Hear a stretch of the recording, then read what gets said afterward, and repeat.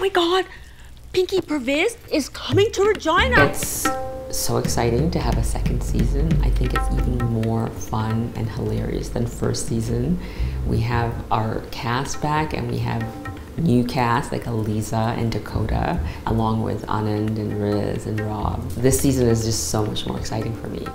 I'm just excited for for the comedy. I just feel like it just adds so much layers from season one. We, we see this this side of Zarqa that's very, very determined this season, and I love the fact that she has to go up against someone like Pinky, and you just see these two people that kind of become rivals in a way. So I'm excited for everyone to see that. What are you doing here?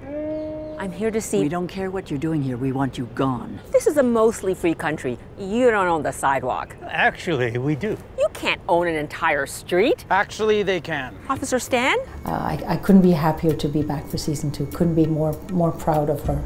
But mostly excited because everyone, including me, wanted to know where Zarqa was going to go next. We left on such a cliffhanger. Canada needs to know what happened next.